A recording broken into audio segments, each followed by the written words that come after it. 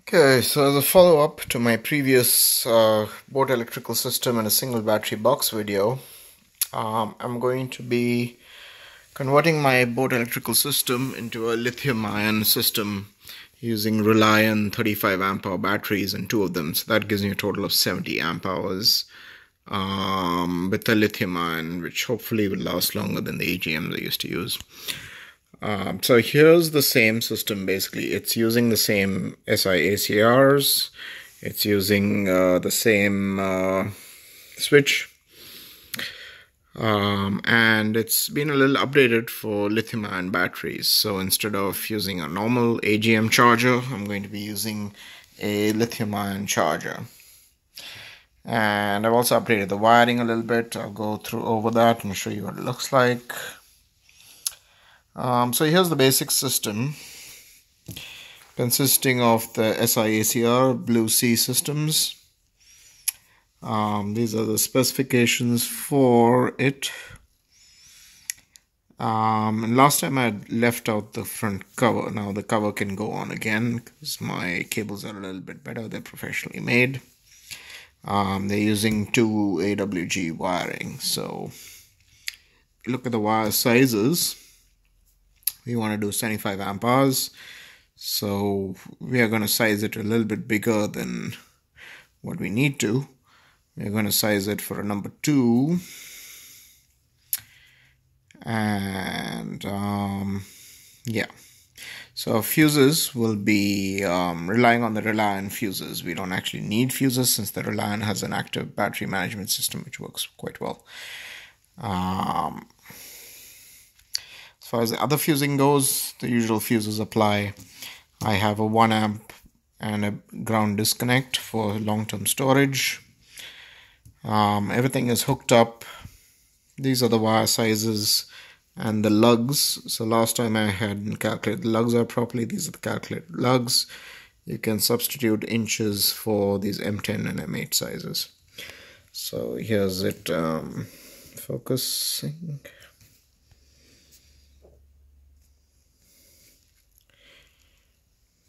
Yeah, so hopefully that's in focus. You can see the wires required for this thing.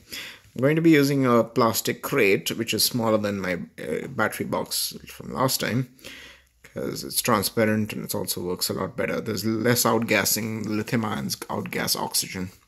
So you don't need to worry about uh, uh, outgassing as much. So, um, so same techniques apply. You have red, red to uh, 35 ampere Relion house battery.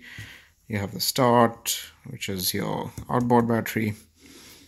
Um, these go to switch position 2. I'm going to put a one side goes to the outboard leg, one side goes to the house leg. And um, so yeah, same things apply. Um, red goes to red from house leg goes to B side. A side gets the leg from the outboard leg. Um, I'm also going to connect my charger. So my charger is actually connected here. It's a lithium ion charger. It's a G3500 and I'll go over it um, slightly later in this video. This connects here. Black leg connects to black and so it charges it and the charge is distributed by the SI ACR as usual. And the alternator charge also comes through that. So you can charge it with 110 you can charge it with 18 amps 12 volts which is coming off the outboard and basically the SI ACR handles both um, scenarios. Um, yeah so that's what it looks like. I've got 2 amp and 4 amp fuses on these as required for my accessories. Uh, my bilge pump comes here, secondary bilge pump also comes here. Uh, boat electrical system comes here. Um, this has outboard and charger, and that's how it works. And now I'll go over actually what it looks like in real life, then I'll assemble it. My boat electrical system in a single box. I've gone from this huge thing, which is one battery basically, uh, in my last video and I covered that it's, it was standard lead acid AGM um, to this one. This is just a um, slightly more advanced version. This has two.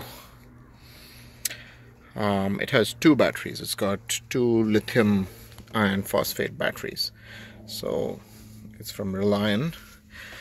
They're two 35 amp hour batteries. So it's basically the same as the old one, except it fits in half the space. Um, so I formed around it so the batteries fit into the foam. These are the foam compartments for the batteries. Um, so that way you minimize shock.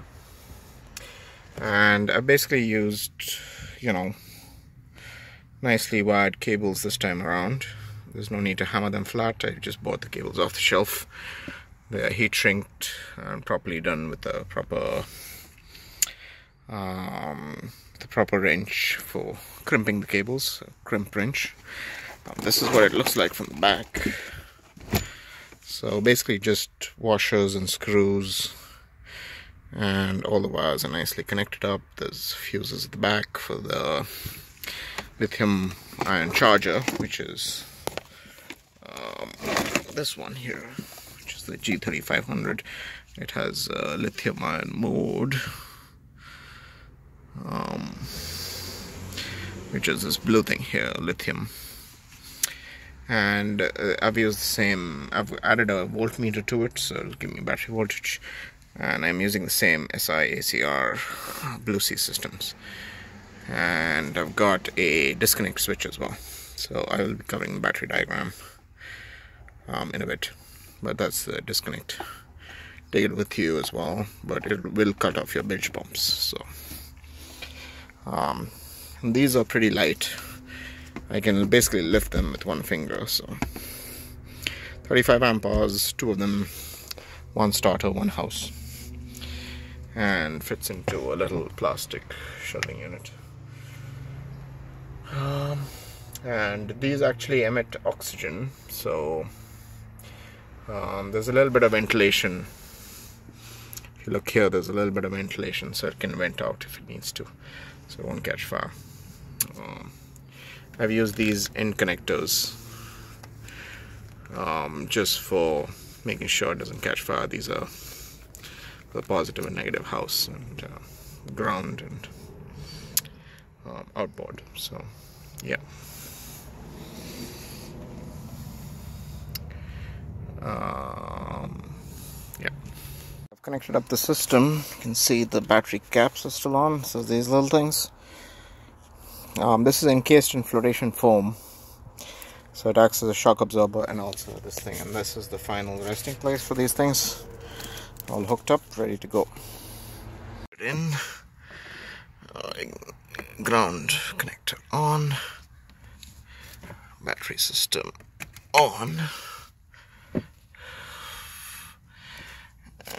I can test it out my test probe. There you go, 13 volts.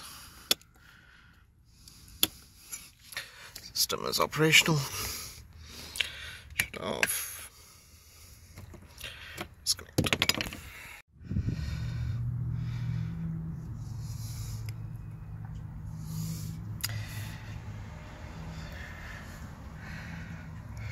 So this is the Blue Sea ACR and lithium mode charging the batteries.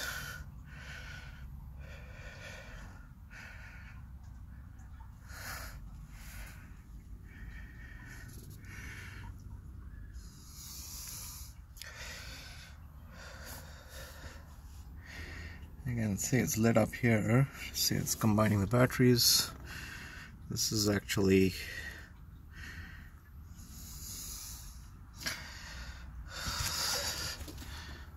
13 volts.